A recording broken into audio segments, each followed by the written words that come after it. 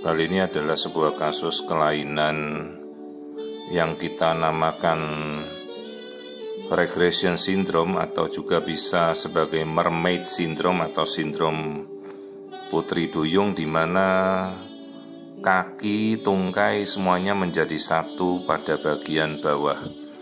Jadi tungkai bagian bawahnya ini hanya tunggal, kakinya menjadi satu semuanya seperti sindrom ikan putri duyung istilahnya.